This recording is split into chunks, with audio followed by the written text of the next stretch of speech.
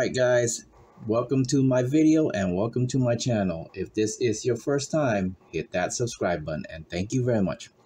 Well, let's begin. Right in front of you, I have an 1854 O, which is the Orleans Mint. This is a very old coin, as you can see. It is a, uh, it's, it's actually called a Seated Liberty Quarter, quarter dollar that is 25 cents. And 25 cents back then how much would it cost now? Uh, back in 1854 so if you guys know the answer let me know.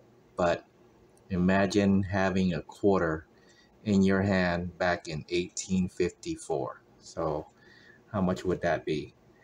This particular one that I have is a type 3 which has the arrows on the date there's no rays, and the O is basically a regular size O.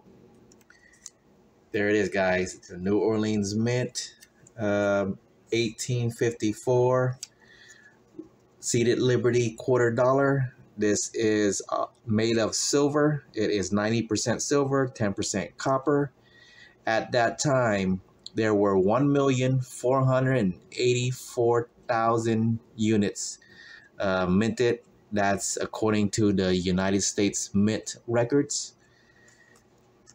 All right, enjoy.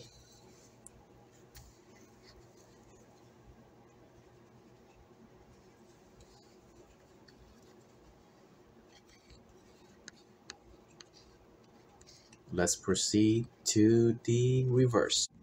Here it is, guys. This is the reverse of the coin. As you can see, the old mint mark is right below the uh, what do you call it, the tail feathers or uh, the talons legs. It features the eagle and enjoy the show. Enjoy more of it.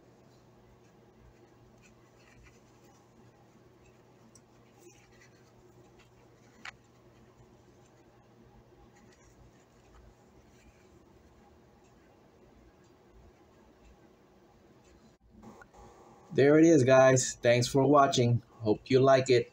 Like share and subscribe. Thank you very much. More will be coming soon